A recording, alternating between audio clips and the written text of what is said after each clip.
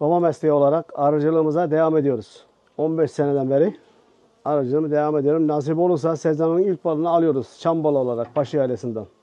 Arılarımız biraz iş kesik olduğu için yağmurların olmadığından dolayı biraz bal hasadımız zayıf. Ondan dolayı bu şekilde arıların yaptığı şekilde almaya devam ediyoruz.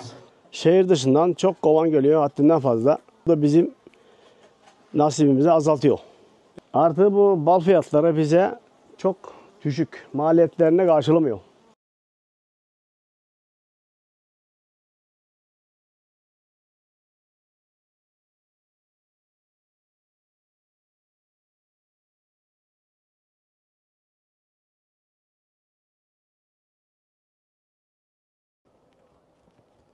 Tık tık tık.